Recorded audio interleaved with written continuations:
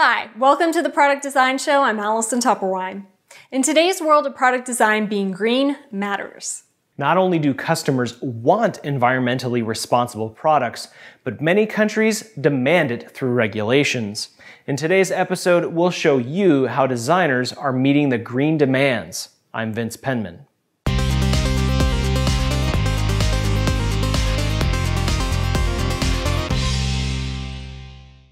With rising energy costs and rising prices for resources, companies around the world are adopting sustainable design methods. Sustainable design is the practice and philosophy that products should be created using the least amount of non-renewable resources, and that extends beyond design to supply and chains and manufacturers.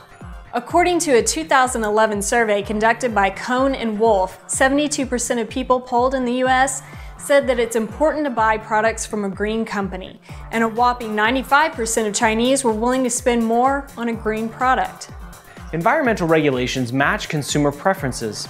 Say you're building a dirt bike. Within the EU, there are numerous standards that dictate the materials you can use.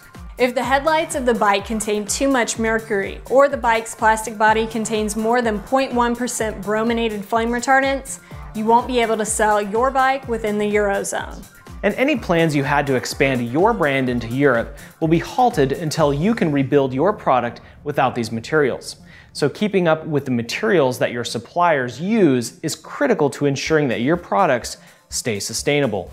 To make sure your design complies, you could cross-check all of your suppliers' parts and manufacturing techniques by going through reams of paper and making expensive on-site visits.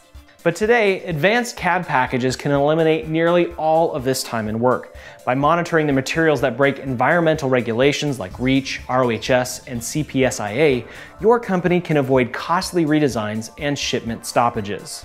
New CAD packages can even check to see if your products meet environmental standards that are likely to be in place down the road, so you can build a plan for future compliance as well.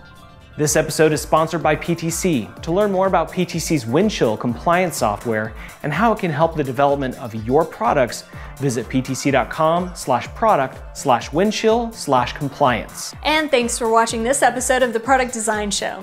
Please give it a like on Facebook, subscribe on YouTube, or give us a rating on iTunes.